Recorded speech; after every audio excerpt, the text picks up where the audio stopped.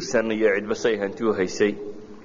Fidaaga hore ee laga qaaday wuxuu aha ilaa afar kun oo dirham baynu idhi qofkiiba kuwaan hanti haysanin waxaa laga qaaday inay waxbaraan dadka oo qofkii aan hanti haysanin markaa inuu waxbaro. Waxaynu soo tilmaamnay siduu nebigu uga simay calayhi salaatu wasalaam wax ka qaadistaasi. Xataa saxaabada qaarkood ay isku dayeen inay alcabaas ibnu cabdilmualib oo adeerkiiya oo weliba sheegtay inuu muslim la soo qasbay uu ahaa markuu soo baxayo isagoo islaamaynu meesha yimi. Haddana inaan waxba laga aqbalo ee la yidhi ha laga qaado isagana.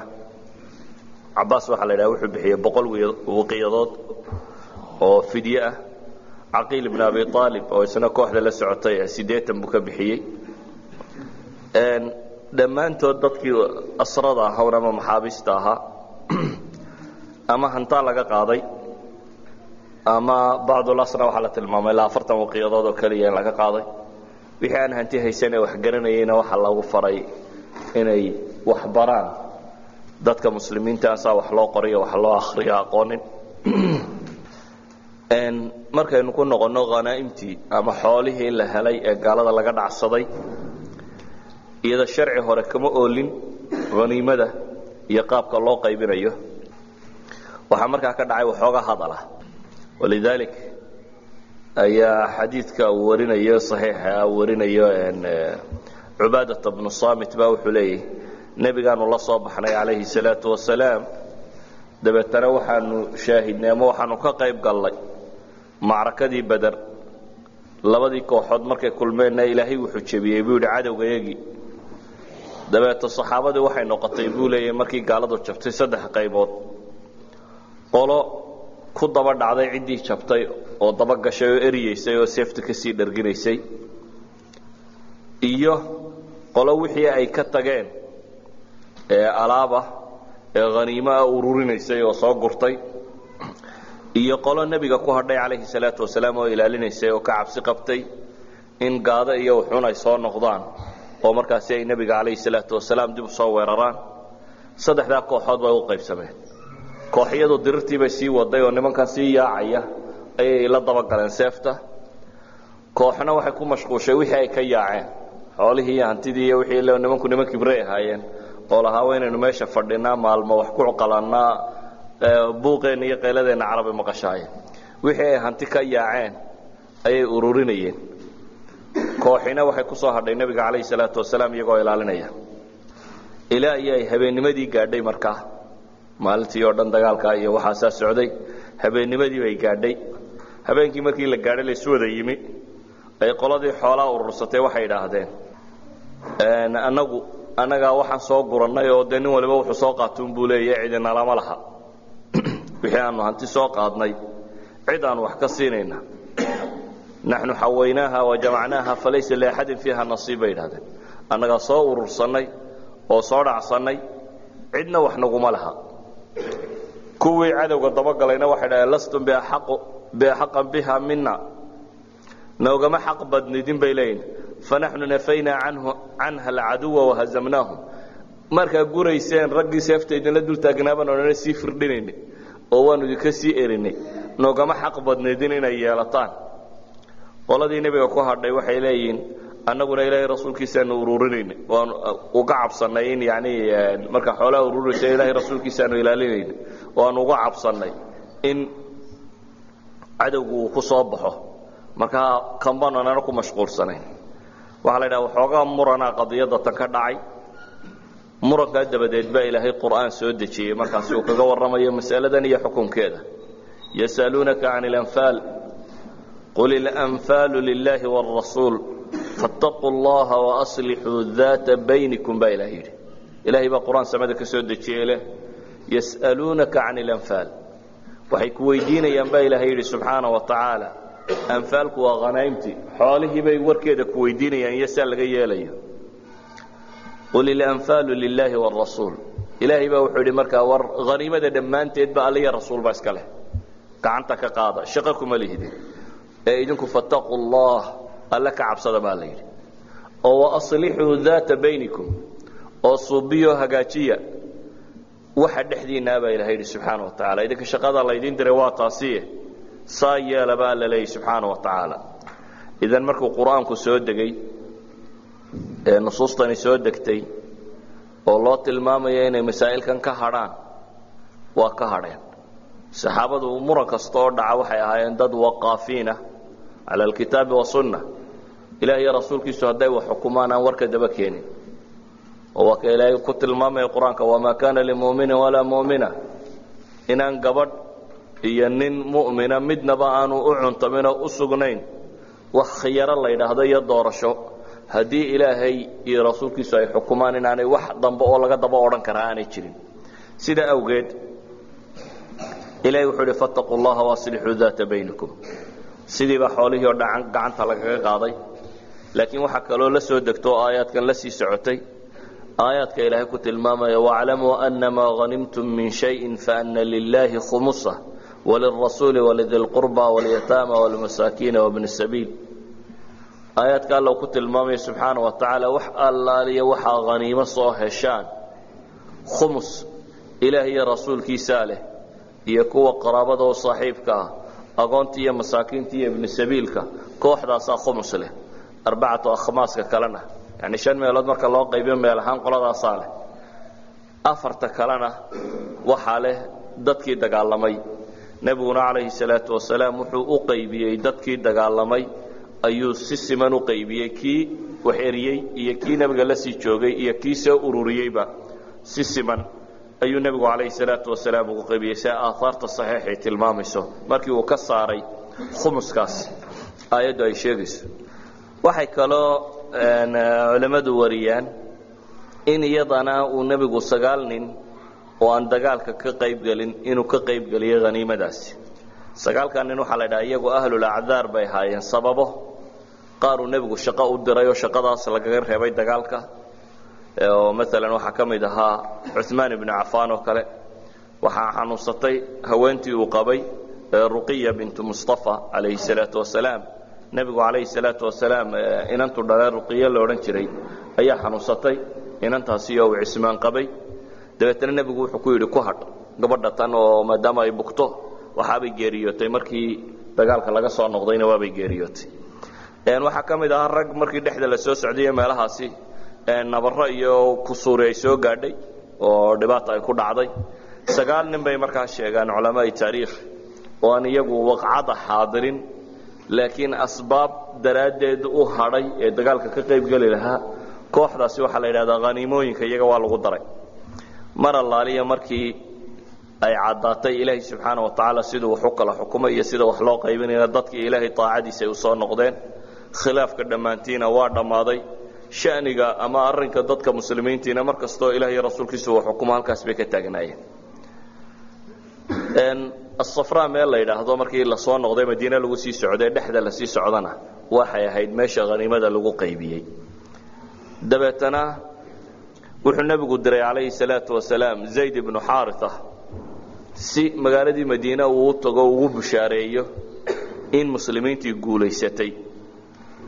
Laakiin wararku waxaynu nidhi xagga maka warkii tegayna war adag buu noqdo. Reer maka waynagii shalayta tilmaamaynay ninkii wuxuu ku hadlayay safwan ibnu umaya xagga madiine lafteedu wax loo qaadan waaye buu noqday oo dee war la filayey muu ahayn.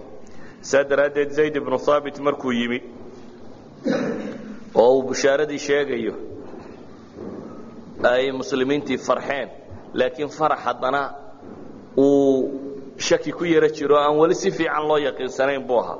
Ilaa iyo usama usamata bnu zayd ibnu xaaria saxaabigan warka sida inankiisi way usama ilaa iyo uu leeyahy fawallahi ma sadiqtu xataa ra'ayna lusara ilaa iyo laysmaba rumaysanin ilaa iyo la arkay maxaabiistii oo la wada mooyaane iyo dadkii la soo qabqabtoo la arkay mooyaane. Waaba hore loo rumaysan kari waaye. Markaas baa dadku ay aad u yaabeen iyagoo faraxsan oo la yaaban ma nimankii quraysheed baa maanta sidan loo galayoo sidaa u jabay. Oo sanaadiidu quraysh raggii ugu waaweynaa toddobaataneye aan baan midhba laga haynin oo geeriyooday. Iyo toddobaatan maxbuusnimo lagu wado aad bay ula yaabeen. Dahshada dadkan ku dhacday waxaad ka garanaysaa qisadan saxiixa a dhegayso waxaa la yidhahdaa umm lmu'miniin zawda. Sawdo oo ah haweentuu nebigu qabay calayhi salaatu wasalaam. Ayaa markay aragtay quraysh odayadeedii iyo labada gacmoodba xidhxidhan yihiin oo la wado. Ayay ishayn kari weyday. Waxay la hadashay baa la yidhi abayaziid abayaziid ninkii la odhan jiray waa suhayl ibnu camar. Suhayl ibnu camar waa nin saxaabi ahaa laakiin markaan gaal buu ahaa. Suhayl ibnu camar markaa waxaa lagu tilmaamo khaiibu quraysh buu ahaan jiray. Waa ninka ugu aftahansan baa la yidhi quraysh. Ee qurayshi markay meel damacda inay ka hadasho ninka u hadli jiray ayuu ahaan jiray suhayl ibnu camar waa ninkay qurayshi u soo diratayna sulxu xudaybiya inuu nebiga la galo calayhi salaatu wasalaam. Waa ninkii sulxu xudaybiya xagga gaalada ka soo jeeday ee sulxiga gelayay. Sauda waxay aragtay markaasi suhayl oo labada gacmood inta luqunta loogu xidhay la wado oo maxbuus ah dabeetana way ishayn kari weyda waxay tidhi abaa yaziid acطaytum biaydiikum alaa muttum kiraama? Bay ku tidhi ma gacmaha dhigateen ilaa intii luqunta laydinka xidhayay war maad si fiican u dhimatid bay ku tidhi. Markaa inta ishayn kari weyday yani dhimashaa kuu dhaantay in sidan lagu soo xidhxidhe maad geeriyootid bay sawda ku tidhi. Nabiga calayhi salaatu wasalaam oo maqlaya wuxuu ku yidhi acala allahi wacalaa rasuuli. Ay tuallibiina cala allahi wacalaa rasuuli. Nama ilaah iyo rasuulkiisaa dadka ku diraysaa ku yidhi nebigu calayhi salaatu wasalaam oo la joogay markuu arkay sawda weedha ay ku hadlayso ayuu yidhi nama ilaah iyo rasuulkiisa ayaa dadka ku soo diraysaa markaasaa waxay tidhi yaa rasuula allahi waladii bacataka bilxaq maa mallaktu xiina ra'aytu abaa yaziid? Majmuuca yadahu ilaa cunuqihi bilxabl an qultu maa qult ilaahay rasuulkiisiiyo bay tihi wallaahi nafta ismaan garanin waxaan ku hadlayba waan ishayn kari waayey bay tihi markaan arkuun odaygii dhammaaya abaa yaziidoo luqunta gacmaha loogu xidho meesha la wado markaan arkay wax allaaliya waxaan ku hadlayba ma garanayn bay leedahay idan waxaad ka garanaysaa dahshada dadka ku dhacday. Xataa um lmuminiin ay ishayn kari weydo oo tidhaahdo war maad si fiican isaga dhimataan inta sidan laydiin soo hogaaminaya yacni jab aan la arag ama jaba aan la filayn yani jababka qaar baa ah wax aad filayso haddii lagaa guulaysto inta lagaa guulaysan karaa intay tahay. Ciidan kun nin ah oo fursaantoodii iyo raggoodii oo dhan watay oo soo diyaargaroobo waxaasoo farasa watiyo waxaasoo awra.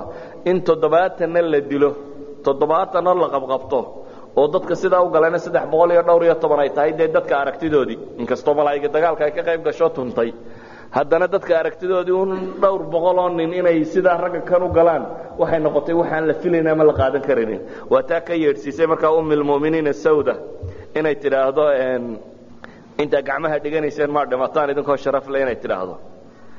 Waxaynu kala soo sheegnana dhexda markii la soo socdayna in laba nin la dilay nadar ibnu alxaaris ninka la odhan jiray iyo cuqba ibnu abi mucayd aynu dhi iyagu waxay ahaayeen mujrimay alxarb kuwii nebiga dhibi jiray calayhi salaatu wasalaam. Nadar isaga markii madaxa laga jirayay waxba kamay sheegaan. Laakiin cuqba talaxumaa qaado haddana cabashuu bilaabay. Markii madaxa laga jirayay ninkii wixii la ogaa samaynayey oo aninkanu ni nebiga calayhi salaatu wasalaam ayuu uurku jir neef geela ma dusha ka saarayay ama isku dayay inuu go'a ku baktiyo in lahayn abubakar baa darka kaga soo gaadhay. Ninkii waxaa samaynayey markii gacanta lagu qabtay uu ishayn kari waayey ilaa uu yidhahdo ya muxamed mal nasibya ya rasuul allah caruurtii aad ugu ku halaynaysaa ilaahay rasuulkiisiiyo annaar buu ugu jawaabaa la yidhi nebigu calayhi salaatu wasalaam. Riwaayadda abi daauud fi sunan oo isnaad xasana ku soo aroortay. Tabrani fi lkabiirna ku soo aroortayna rijaalkeeda lagu tilmaamayo rijaalu saxiixina yihiin calaa kulli xaal maalintuu waxaan samaynayay ama markuu dhibta geysanayay muu xasuusanayn wuxuu geysanayo. Ee markii la qabtay unba calaacal iyo tanactanaci ka dhammaatay maxaabiista intii ka soo hadhay nebigu calayhi salaatu wasalaam wuxuu u ogolaaday in wuxuu u dardaarmay saxaabadu in la ilaaliyo oo la dhowro. Xadiid mursala waa kaa ku soo aroorinaya muscab ibnu cumayr walaalkii markii la qabtay abu cusays waatii la soo xidhay dabeetna isagoo maxbuusaa la keenay. Wuxuu leeyahay nimankii aan u xidhnaa ee asiirka aan ahaa hado iyo cashaba looma keena buu leeya ilaa iyo khubuskana aanay igu gaar yeelaan madharka timira iyo waxaana iyagaa cuna. Dardaaranku nebigu u dardaarmay uu ku yidhi war hoy maxaabista si fiican ula dhaqmana. Yani maxbuusku buu leeyahay reerka raashinka iyo odayada loo soo dhigo inta ka macanaa laysiinayay buu leeya iyaguna timirta iyo waxaasay qaadqaadanayeen yani intii ka nafta lahaydba anaa cunayay buu leeyahy ilaa ay xad gaadhay buu inaan ka khajilo nimankani siday aniga wax walba igu soo riixayaan inaan cuno. Faastaxyi faaruddaha fayuruddaha calaya maa yamusaha buu yidhi. Waan ka xishooday cunada xaggaygu loo soo wada riixay markaasaan ku celiyaa buu yidhi. Midna gacantiisa ma celiye dib baa laygu soo wada celiyaa buu leeyay. Oo anugunbaa meesha inta kimise la keenay iyo waxaasoo dhan anaa cunayay buu leeyay. Yani taasina waxay tilmaamaysaa dadka muslimiinta ahi. Xusnulmucaamala xataa maxaabiista hayeen qaabkay ula dhaqmayeen inay si aada u fiican ay ahayd. Waana waxaan taariikhda bini aadamka ee dagaalada lagu haynin in dad maxaabiistoo dagaal lagu soo qabtay sida tan loola dhaqmo oo reerku cunadu cunaya uu iska fadilo oo uu iyaga siiyo. Taariikhda bini aadamka wax lagu arkay maaha. Waxun baa lagu hayaa taarikhdaasi islaamiga. Mawqacadan bederi kastoo dagaal yar ay ahayd. Marka xajmi ahaan la eego haddana waa dagaalkaasi waqcada hayru macquulka ah yacni dhacda lama ilaabaana ka dhigay. Bale ilaahay qur'aankiisa wuxuu ku tilmaamay inay tahay yowma alfurqaan baa ilahay yidhi maalintii kala baxa. Maalintii xaq iyo baatilku kala baxay. Ee gal iyo muslimka raadheen ee wax walba la kala saaray baa ilaahay ku tilmaamaya subxaana wa tacaala. Inay yowm alfurqaan tahayna waxaad ku garan kartaa taariikhda marka la warinayo. Waa waqco runtii dad badan oo isku reero dhex martay. Laakiin waxay ku kala tageen ay diin ahayd waxaa laga yaabaa raggaan aynu leenahay quraysh raggeedii waaweynayd baa meeshan la jiidayay ama dhimanayey kuwa laynayay kuway dhaleen bay ahaayeen. Saddexda koowaad ee mubaarasada la dhigay cutba shayba iyo waliid. Waliid walaalkii xagga kaleu ka soo jeeda aabbihii iyo adeerkii iyo walaalkii meesha lagu dilayo kuwa dilayuu la safayo uu ka soo dagaalamaya. Waa meel aad garan karto in labada wala abu cusays waa in ibnu cumayr muscabna xagguu ka soo jeeda abu cusaysna xagguu ka sii jeeda. Waa meel aad garan karto cumar bin khaaabna xagguu ka soo jeeda abtigiina xagga kaleu ka soo jeeda. Waa meel aad garan karto abibakar xagguu ka soo jeeda inankiisii cabdiraxmaanna xagga kaleu ka sii jeeda. Yacni waa family keliya cidda isdilaysa in badan markaad eegto. Laakiin waxaa loo kala baxay diin.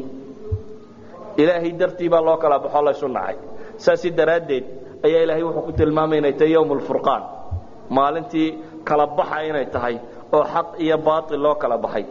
Walidalik baa raggii mawqifka kan istaagay fi taariikh badriyiin baa la yidhaahdaa. Ninkaasi waa bedri haddii la yidhahdo yani saxaabada sharaf dheeraadu ku lahaa. Xataa waxbixinta cumar bin khaaab ciidanka marka lacagta la siinayo ninka bedriga ah iyo hayru bedrigu isku mushahar may ahaan jirin ama isku abaqa may ahaan jirin cumar agtiisa inkastoo abibakr isagoo odhan jiray anigu muslimiin kala sooci maayo oo isku si wax u wada siin jiray labadii sannadood haystay. Masaa'ilkay cumar iyo abibakr isku khilaafsanaayen bay abibakr cumar agtiisa tobankii sane oo madaxda ahaa. Bederiga iyo saxaabiga kale isku itaal may ahayn ama isku meel kamay joogin. Safaxaatu taarikh yani wax gaaray ka ahaayeen waxaanad ka garan kartaa inaanay isku meel ka joogin. Waxaa la yidhahdaa dadkii maalinta shahaadada ku qaatay beder waxaa ka mid ah xaaritat bnu suraaqa alansari isagoo wiil yara. Afariyo tobankii nin ee ku shahaadada qaatay buu ka mid ahaa. Dabeetana waxaa la yidhahdaa hooyadiibaa u timi nebiga calayhi salaatu wasalaam. Waxay tidhi ilaahay rasuulkiisiiyo xaarita halkuu igaga yaallay waad og tahay. Ee ii sheeg hadduu janno ku jirana aan iska sabr oo xisaabsadee ninkaasi hadduu janno galay. Wain takun ilukhra tara ma asnac haddii aanu janno ahayn meeshuu u kacayna. Waxaan yeelayay tilmaam wuxuu ku yidhi nebigu calayhi salaatu wasalaam wayxak janna waaxida hiya. Hoog yani wayxak waa kelima la ysaga isticmaalo qofka hoog loogama jeeda waa kelmad carabiga iska isticmaali jirtay. Ma waxaad filaysaa buu ku yidhi janno qura innahaa janaanun kaiira buu nebigu yidhi. Janno qura meesha ku jira maahe waa jannooyin buu yidhi. Wainahu fii jannati lfirdows haddana jannat lfirdowsa ayuu ku jira. Idan kuwoodii shahaado qaatay firdows ilacla ayay u kaceen. Kuwoodii noolaa waxaad ka garan kartaa kuwo dunuub khatara galay. Ayuu nebigu calayhi salaatu wasalaam wuxuu ku cafiyey mujarad inay baderiyiin ahayeen dagaalkii bader nin soo xaadiray inuu ahaa. Walidalik ba waxaynu xagga dambe ku arki doonaa waqcadii xaaib xaaib ibn abi baltaca waa nin saxaabiya laakiin fatxu maka markii maka la furan doono ayuu warqad diray. Uu quraysh ugu warramayo inay muslimiintii iyo ciidankoodii soo socdaan. Warqadaas marka la eego waa warqa khiyaana cudmaa noqon karta. Yani khaayinimo weyn lagu tilmaami karo. Isagu isagoo aan qadiyadda tasaan uga jeedin ujeedo un nimay waxoogaa xoolaa ka dhexeeyeen inuu xoolaa badbaadiyo. Oo u arkayay yani islaamka iyo diintu inay iska guulaysanayaane intii yareeda xoolaa ahayd xagga eer ay ninkaasi heshiis ku ahaayeen inay u badbaado un dabeetana waxaa ka yaabay saxaabadii rag meesha joogay ilaahay rasuulkiisiiyo aan madaxa ka goyna bay dhaha waa munaafiq waxa kaniya warkii uu diray ilaahay baa rasuulka u sheegay muu gaadhin meeshii iyo nebiga calayh salaatu wasalaam baa cid diray waa la soo qabtay waraaqdii. Marka waa evidence cad oo lagu hayo waa red handed waa la hayaana inuu dembiga kan galay warqadii waa la hayaa. Dabeetana waxay dhahen ilahi rasuulkiisi waa munaafaqa kanaan madaxa ka jaro nebigu wuxuu ku yidhi calayhi salaatu wasalaam armiyaydan ogeyn inuu badari yahay buu yidhi reer badan inuu yahay lacala allah alaca calaa ahli badri faqaala icmaluu maa shi'tum faqad wajabat lakum aljanna aw faqad gafirtu lakum la arkee buu yidhi reer badan oo dhan inta alla taalacday inuu yidhahdo waxaad doontaan sameeya jannaa helaysaane ama dembigiinaan dhaafay yani idan beder ajarkeedu ma aha wax fudud sidaa ogeed ba khiyaana cudmaa kuwii galay ayuu nebigu wuxuu lahaa calayhi salaatu wasalaam ninkaa leediin gacantaa lagu taagayaa miyaanad ogeyn inuu beder ka qayb galay mar kalena mid baa yidhi hebel naartuu gelayaa buu yidhi. Kadabta buu nebigu yidhi. Laa yadkhulaha fainahu shahida badran wlxudaybiya ma beder iyo xudaybiya ninka xaadiray baycatu ridwaan iyo beder ninka xaadiray baad waxaa kula hadlaysaa buu nebigu ku yidhi calayhi salaatu wasalaam. Idan beder ahlulislaam meel hayru caadiya bay ka joogtaa. Ninka bederiga ama saxaabiga ahlu bederka lagu tilmaamaana waa saxaabigii ama waa kuwii ilaahay gacantooda uu diintan ku dhisay un si kale markaynu u tilmaamno diintani inay istaagto oo waarto oo maanta joogto. Maalintaa beder haddii la soo jiidho abijahlila madiine waa geli lahaan waxba kama tageen. Laakiin fircawn haadii lumma ninku alla ku tilmaamay. Ilahay wuxuu ku tilmaamay nebigu calayhi salaatu wasalaam wuxuu abujahal ku sheegay inuu yahay fircawn haadii lumma waa ummadda nebi maxamed fircawnkeedii baa ayuu rasuulku yidhi calayhi salaatu wasalaam. Fircawn haadihi lumma kooxdii ilaahay gacantooda ku jebiyey taariikhda meel gaara ayay kaga yaalin. Waxay keentay waqcaddaasi bederi markaa inay mu'miniintu xoog dareemaan waayo waa dagaalkii koowaad ee ay galaanba waana waqcaddii koowaad ee gaal iyo muslimu iskaga hor yimaado waxay dareemeen xoog iyo suldadoodii madiini inay adkaato iyo yuhuuddu inay hoosayso ama mushrikiintii meesha la joogtay. Inkastoo tani ay keentay haddana nimankii yuhuudda ahaa xaqdi badan inay sii qaadeen oo qaar badani mujaahara bilcadaawa cadaawadda ay dib ugu soo dhawaaqeen. Laakiin waxay kaloo keentay in badanoo ka mid ah gaaladii meelahan joogjoogtay ama dadkii hungurigu ka hayay madiina in hungurigoodii uu yaraado. Waxaynu tilmaami doonaa markaasi dhowr qiso oo la tilmaamo. Midi waa yahuuddii reer banu qanuqaac iyo mowqifka istaageen.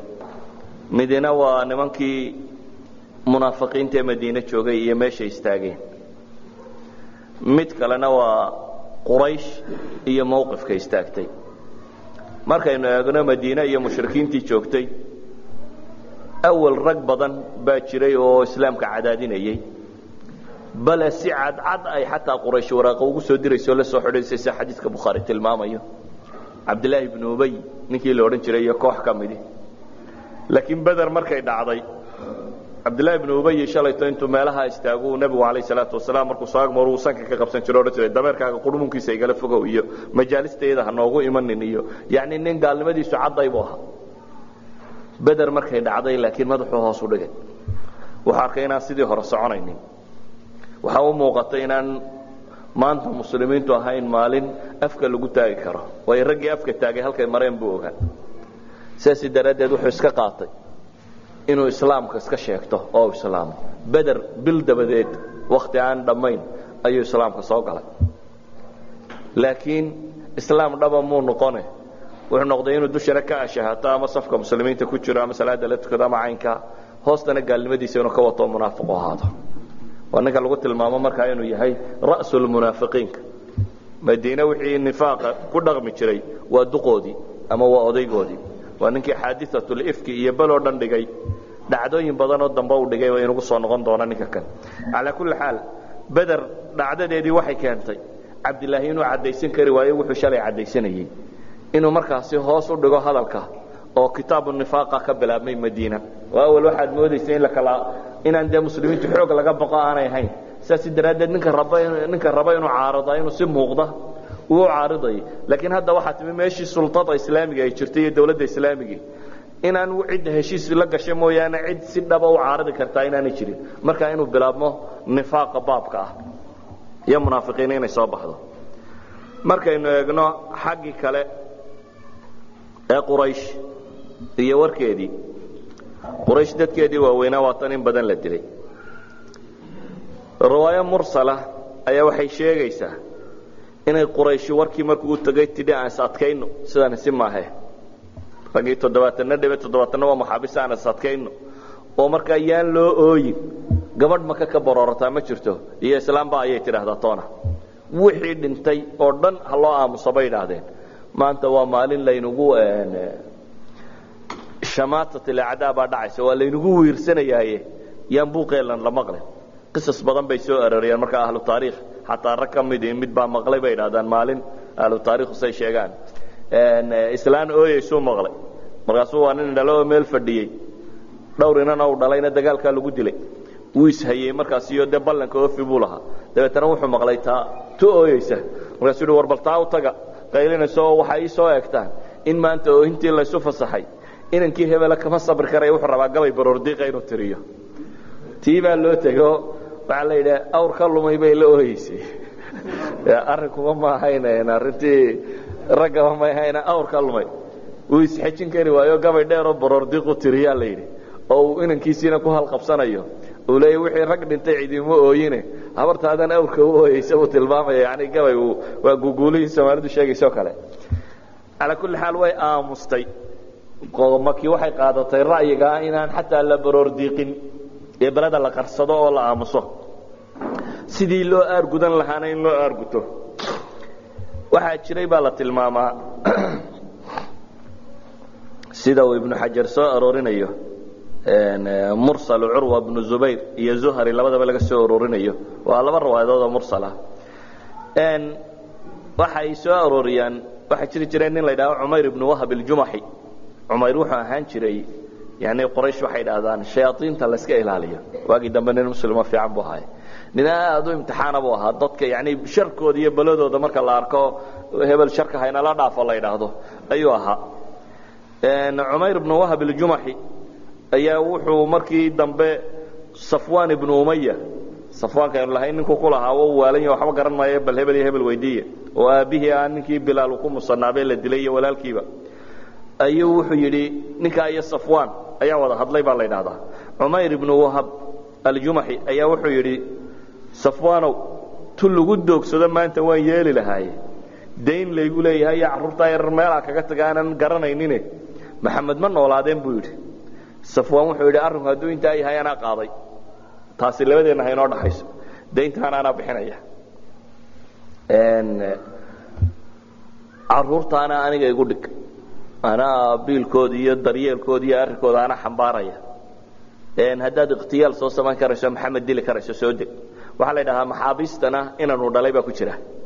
Oo kuwa maxaabiistii la qabtaya marka wuxuu leeyahay qaab aan u tago madiinana waan hayaa dee waxaan iska dhigi doonaa in maxbuuskaygii inaan soo furanayaan iska dhigi doonaa. Heshiis baa la wada galay inuu ikhtiyaal la sameeyo. Bal dagaal weyne ha dambeeya in ikhtiyaal la soo sameeyo ah in la soo dilo nebi moxamed calayhi salaatu wasalaam shirqool in lagu soo dilo. Seeftiisii ayuu soofaystay awrkiisana waa la siiyey. Dabeetana waa fuulay. Wuxuu socdaba magaaladii madiinu soo galay. Masaajidka hortiisa uu awrkii fadhiisay isagoo daadegayumuu cumar bin alkhaaab arkay. Wallaha ku dhaartay buu yihi cumar inaan cumayr waxaan bale ahayn inaanu la soconin cumar oo koox wataa markaa ibuu soo dhaqaaqay markuu arkay cumayr ibnu wahab oo meesha awrkiisii joojistay oo ka soo daadegaya ayuu ku soo dhaqaaqaa la yidhi. Dabeetana wuu qabtay. Maxaad rabtaa wuxuu yidhi caynkaasaan rabaa inakeen buu yidhi. Isagoo wadabuu ilaahay rasuulkiisa u keenay. Nebigu calayhi salaatu wasalaam baa yidhi sii daa muxuu wadaa? Waar maxaad wadaa? Beentiisii buu akhriyey markaa. Waxaan u socday dee inankaygii la hayay in aan soo furto waa kaasoo been baa haddaa seeftuna waa maxay buu ku yidhi bay yidhaahdaan. Riwaayaadka qaarkood say tilmaamayaan haddaad nin dee musaafiro unu rabay inaad inanka furataa tahay hubkan aad ku jeeni qaaran tahayna waa maxay buu ku yidhi? Alla hoojiye shalayba waxnamay tarin buu yidhi. Yani shalay markaanu soo dagaal galnayba seefi. Waxnama tarina ma maanta waxna taraysaayoo kaleu tilmaamaya. Wuxuu ku yidhi nebigu calayhi salaatu wasalaam say riwaayaadkaasi sheegayaan. Been baad sheegtay. Ee umaad imanin inaad maxbuus furato ee adigii adiga iyo safwan meesha wada fadhiistay. Ee sidaasi ku soo dad alla fashilinaya miya warkood qarsoomaya? Waxyaa soo degaya oo ilaahay ba ka warramaya. Waxba kaagama iman baanu nana lahayn. Oo waa ku beeninaynay buu yidhi. Aniga iyo safwaan wixiina dhex maro aan cid ogi jirin aniga iyo safwaan oo quri aan isla ognahay haddii aad og taa haddii laguuba sheegay waxaan qirayaa buu yidhi inaad ilaahay rasuulkiisii tahy islaamnimadiisii buu caddaystay markaa cumayr ibnu wahab aljumaxina halkaasba ku islaamay maka wuxuu soo noqday markaa isagoo nin islaam ah oo islaamnimada ku baaqaya. Safwaanna waxaa la yidhi magaaladuu sii dhex marmari jiro qurayshay waranaa idiin haye. In yar suga buu odhan jiray baa la yidhi. Waxaan soo wado iyo waxaa ka soo bixi doona meesha waa ka yaabi doontaane. In yar suga siduu lahaa in yar suga buu yimi ninkii cumayr ibnu wahabna inuu islaamay isagoo diin ku dhawaaqaya oo nebi moxamed calayhi salaatu wasalaam rumeeyo islaamnimadiisa qaatay. Quraysh mas'aladani dhibtay ku keentay ghaswatu bader iyo raadkay kaga tagtay waxaad ka garan kartaa. Waxay ka gaadhay qabaa'il kale. Qabaa'il kale ayay muslimiinta isdileen. Ma isdiline nebigay khiyaamayeen calayhi salaatu wasalaam waynu arki doonaa taarikhdoodii xaadiatu rajiic oo kale. Niman baa u yimi nebiga waxay dhahay waanu islaamaynaa waa kaasoo waxaanu rabnaa cid diinta noo sheegta. Ee cid nagu dar kooxuu u diray nebigu quraa ah intii intay cidlo ula baxeen bay laayeen. Intii loo soo diray ayay badhna laayeen badhna qabqabsadeen. Quraysh baa maqashay laba maxbuus oo muslima meel lagu hayaa wafday dirta. Ay leedahay annaga addoonnimo nooga iibiya xoolaha annagaa idin siinaynana soo siiya dabeetana waa la soo siiyey inta laga soo iibiyey.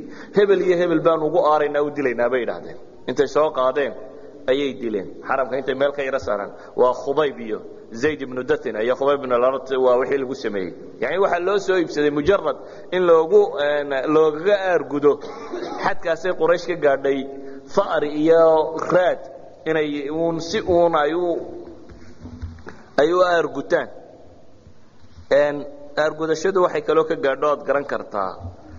Culamaai taarikh wararka ay soo arooriyeen oo maalan abu sufyaan ayaa waxaa la dhaha markuu magaalada soo galay kuwana qasaskan aan tilmaami doono o dhan ahlu taarikh baa soo arooriya sanad saxiixana maan arag. Laakiin aquul kamaa yaquuluun waa iska masaa'il aan runtii mar haddaanay caqiidiya shareecatoona ku saabsnayn isku si adadkeynteed bay yidhahdaan culamaai taarikh wax badan ma kordhiso. Nooc min almuruuna bay qadaaya siira ku sameeyaan. Haddii aanay ahayn wax masaa'il sharciya laga qaadanayo haddii masaa'il caqadiya ay ku jiraan ama masaa'il fiqiyo dee sharci loo deliishanaya ku jiraan waa in axaadiis ama asaxday ama xasani ay soo aroortay. Yani shay maqbuula waa inuu soo arooraa. Ama iska riwaayaadka iska soodaa bay yidhaahdaan yurwa dhib badan uma arkaan ahlu taarikhda waa iska sheegaan maalan waxyaabay sheegaan waxaa ka mid ah abu sufyaan ba waxay yidhahdaan wuxuu ku ballan qaaday. Markuu magaaladii maka soo galay xoolay keenay ayaa la yidhi raggii iyo de wixii dhacay baa la sheegay. Timihiisa inaanu biyo dambe marin ama subag dambe marin ayuu ballan qaadaa la yidhi inayna aar guto mooyaane. Laba boqoloo faras buu soo kaxaystaa la yidhi oo ciidan ah dabeetana wuu soo cararay.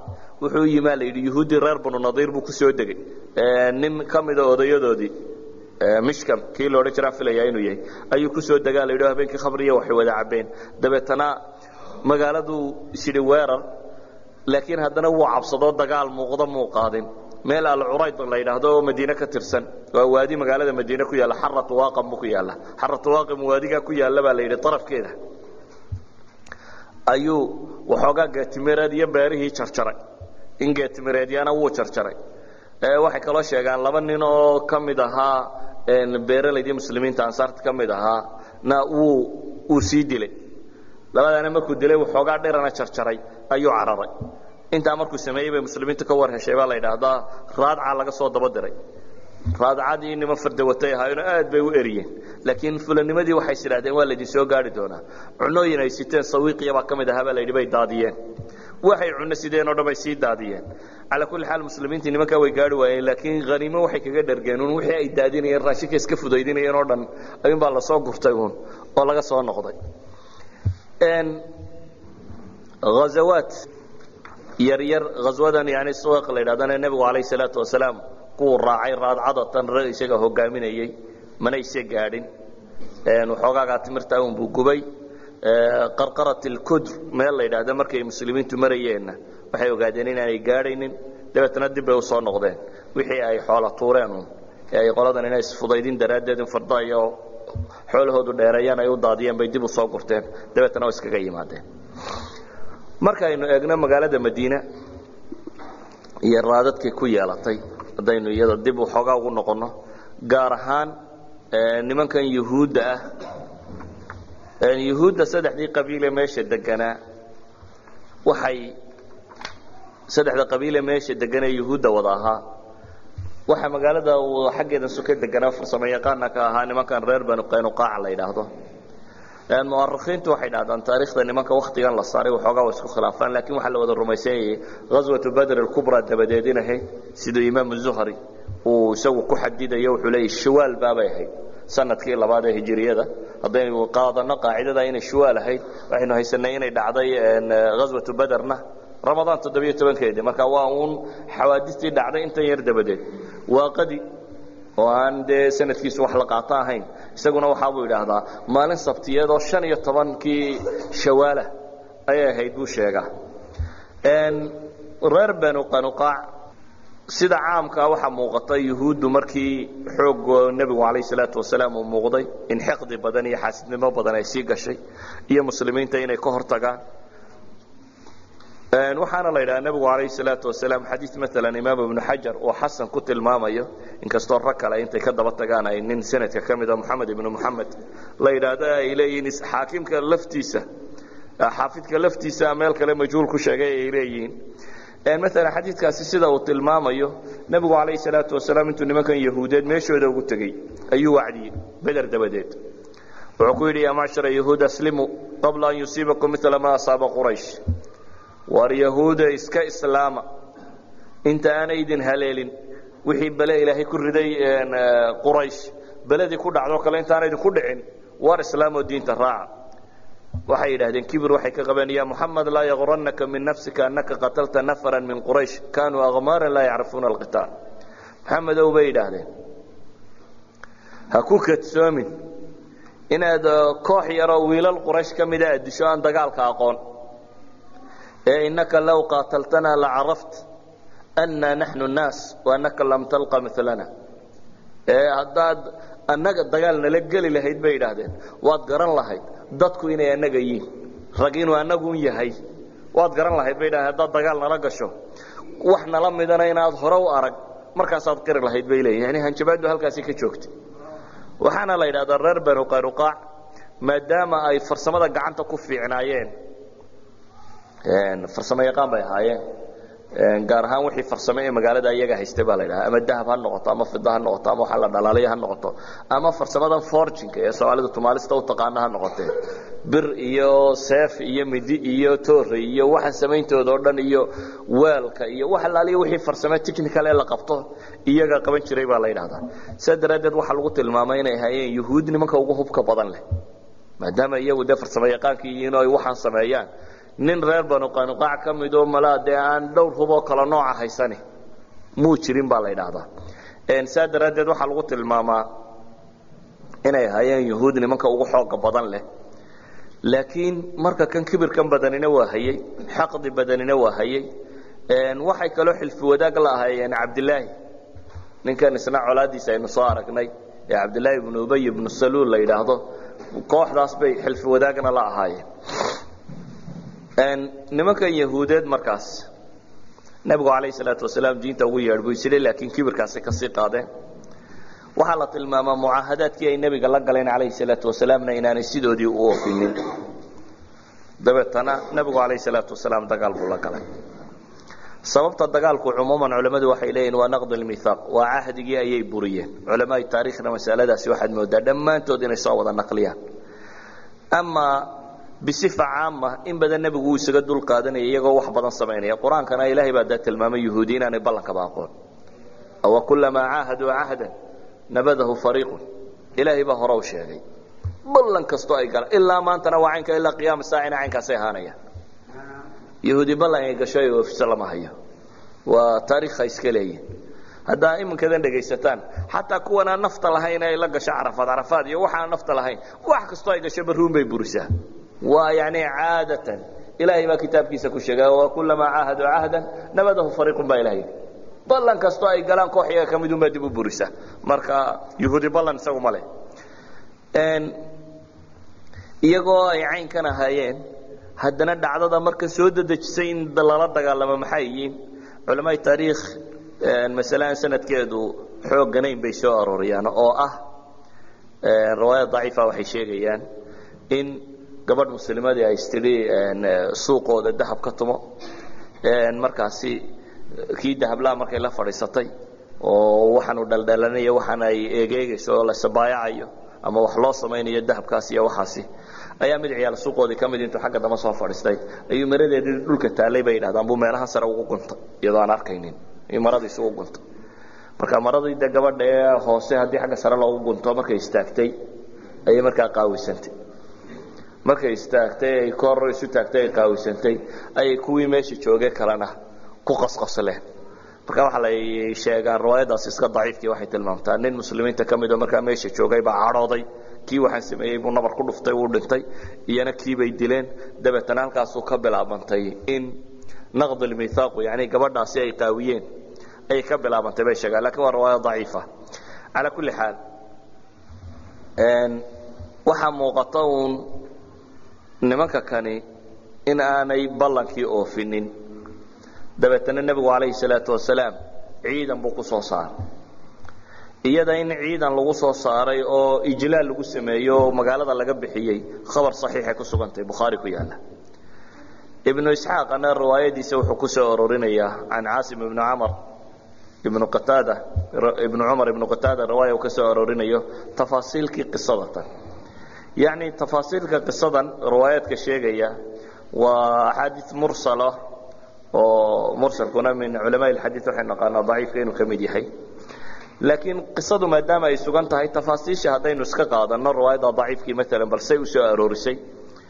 Waxa uu tilmaamayaa nebigu calayh salaatu wasalaam inuu ciidan ku soo bixiyey. Markay arkeen in lagu soo socdo nimankii yuhuudeedna in ay galeen qalcadoodii qalcaday lahaayeen qalcadihii bay galeen dabeetana nebigu qalcaddii buu ka qabtay bay riwaayadda daciifkii sheegaysaa square ama qalcaddii baa la go'doomiyey markaasi. Muddo shan iyo toban maalmoodoo markii go'doomiskaa lagu hayay ayay waxay aqbaleen nebiguna calayh salaatu wasalaam magaalada madiine abulubaaba abulubaaba ibnu cabdilmundir ayuu madax uga sii dhigay baa lagu tilmaamayey ciidankan uu kaxaystayna calankiisa wuxuu u dhiibay baa la yidhaha xamza ibnu cabdilmualib shan iyo toban markii uu go'doominayey oo ilaa hilaali dilqacda laga gaadhayo yani shiwaal ay ka soo dhammaatay oo dilqacda la soo gaadhay ayaa xisaarkii ku adkaaday. Dabeetana waxay idhahdeen waanu waanu isdhiibaynaa xukumkaanu isu dhiibaynaa. Markii ay rabeen inay isdhiibaan ayuu ninkan la yidhaahdo cabdillaahi ibnu ubay ibnu saluul baa nebiga ku dhegdhegay baa la yidhaahdaa oo le ilaahay rasuulkiisiiyo ma afar boqol oo nin oo xaasira yani aan dirac gashanayn iyo saddex boqol oo nin oo daarica yani dirac waxaa la yidhaahdaa bahashan birta ee seefta laga gashado. Yani waxaa jiri jiray gaashaanka waxaan ahayn oo ah bir gebigeedba la wada gashado silsilada yaryara aflaamta iyo waxaana ka araragtaan. Marka waa bir yaroo wada silsilada oo qofku jirhkiisao dhan ku sii daynayo oo markaa waran iyo seefitoon aanay mudaynin. Marka qofka meelahan laabatooyinka iyo meelo khatarunbaa bannaan oo dee nin dagaalyahanoo rasmiya inuu kala helo dhulkaa mooyaane waran iska caadiya iyo wax caadiya kuma dhacayaan marka wuxuu leeyahay saddex boqol oo nin oo yani hubkoodii uu dhan yahay waa uun halka maanta mudaracaadkan laga xidho askartu kaarayaasha iyo dabaabadaha iyo waxaan ay galaan mudaracee xabadda yare caadigaa ka celiyo kalebay ka dhignayd kuwaas. Saddex boqol oo nin oo daarica iyo afar boqol oo nin oo kaleo hubkoodu u dhan yahay toddoba boqol oo nin oo madow iyo caddaan bay iga ilaaliyey baad subax qura wada dilaysaa wuxuu nebiga in badan ka baryayay bay tilmaamaan inuu siiyo. Nimankaa halaysii daayo oo maanta yaan la laynin. Waa ka jeesjeestay bay riwaayaadkaasi tilmaamtaa akhiira nebigu calayh salaatu wasalaam uu u sii daayey baa layidhi waxaa lagu heshiiyey markaasi wixii dumarkooda iyo caruurtooda iyo dadkoodana inay la baxaan xoolaana inay ka tagaan. Magaalada madiinana inay ka guuraan. Saas baa lagu sii daayey xoolahoodii waxaa la ydhaha waxaa qabdiyo gacanta ku dhigay moxamed ibnu maslama saxaabigii la odhan jiray. Dabeetana saxaabada loo qaybiyay ase haniimo ahaan. Iyagii iyo dumarkoodii iyo caruurtoodii iyo waxoodii kalena waa la sii daayey waxay culammadu sheegaan banu qanuqaac yani ijlaagooda ama saaristoodaa la saarayna waxaa ku soo degay nusuus qur'aan oo alle subxaana wa tacala uu kaga warramayo قل للذين كفروا ستغلبون وتحشرون إلى جهنم وبئس المهاد قد كان لكم آية في فئتين التقطا فئة تقاتل في سبيل الله وأخرى كافرة يرونهم مثليهم رأي العين والله يؤيد بنصره من يشاء إن في ذلك لعبرة لأولي الأبصار aayaadkaasba ku soo degay baa la idhaahdaa oo ilaahay subxaana wa kaga warramayo nimankan. Qul liladiina kafaruu satuglabuun watuxsharuuna ilaa jahannam ilaa ilaahi subxaana wa tacaala. Kaloo ku soo degay baa la dhaha aayaadka muwaalaadka iyaguna bay sheegaan mufasiriintu oo ku soo degay cabdilaahi bnu ubay ibnu salul ninka la odhan jiro ilahay le yaa ayuha aladiina aamanuu laa tattakhidu alyahuuda wاnnasaara awliyaa bacduhum awliyaau bacd waman yatawalahu minkum fainahu minhum in allaha laa yahdi alqowmi aalimiin aayaadka ayaa wixii la mid a rag waaweynoo saxaabada ka midina iyagu beri bay ka noqdeen oo xulafo la ahaan jiray nimankan yuhuudeed waxaa ka mid ah cubaadata bnu saamit nebigu u yimi wuxuu yidhi ilahay rasuulkiisiiyo yahuud heshiis baa naga dhexeeyey maanta laga bilaabana mar hadday khiyaamooyinkaasi jiraan ilaahay iyo rasuulkii baan beri uga ahay shaqana iskuma lihin xilfi dambe o aan wadaagaynaana ma jirto laakiin dee waa laba mawqif oo kala fog cabdillaahi bnu ubayi meeshuu taagnaa iyo iyo cubaadata bnu saamit. Waa laba mowqif oo laba nin oo aad u kala durugsaneeyiin mid ilaah iyo rasuulkiisa rumeeyo ka dambeeya iyo nin itixaanah oo habaarqaba ah oo aan diin dan ka lahayn oo cabdillaahi bnu ubaya waa laba mowqifoo runtii aad u kala dheer. Aswatu beder iyo waxyaabihii laga dhaxlay haddaynu inahaasi kaga baxno. Waxaa iska jira ghazawaad yaryaroo labadaa dhexdooda la wariyo culamaai siirana iska soo wariyaan. Inta badanna ka mida kuwa aynu leenahay riwaayad saxiixa ama xasana ma hayno. Waa ghazawaada dhammaantood sheegaya uun quraysh inuu nebigu damcay calayhi salaatu wasalaam weli inuu ku hayo xisaarkii.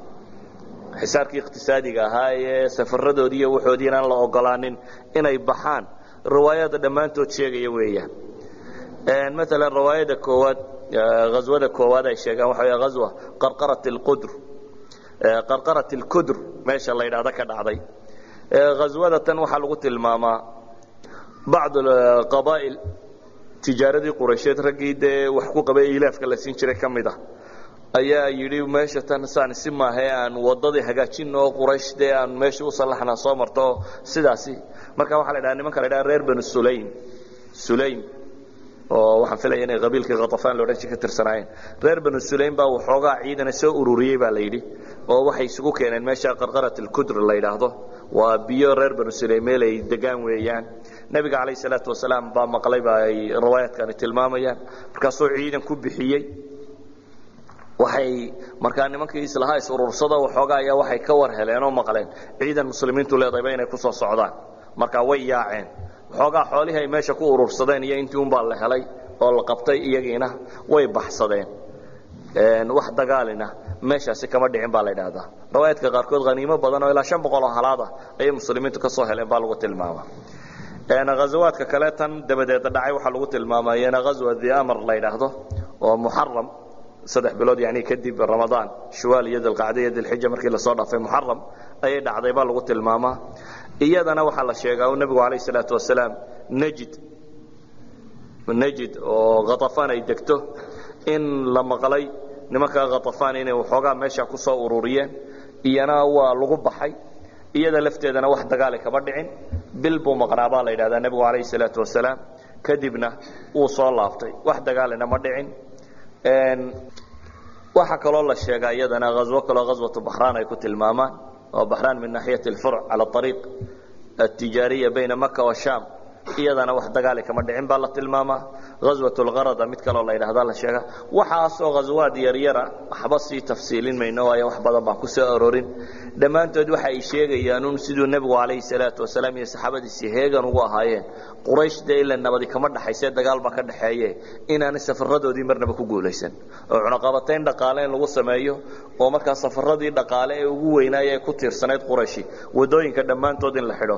Waxaanay tilmaamayaan ghazawaadkan yaryari qayb najid inay isku dayeen xaggan inay maraan inay isku dayeen xaggan badda inay maraan dhan walba in la isku dayey wax kastoo ay mari karaan kullu turuq dhammaantood in laga soo wada xidho. Taasi markay sii adkaatay turuqu tijaarana uu aada u adkaaday dhibtii horena ay gaadhay. Waxay bilaabeen ama waa sababihii bilaabay inay dhacdo ghaswatu uxud in sha allahu tacala halkaas mahad ku joojin doonaa wallahu aclam billahi tawfiiq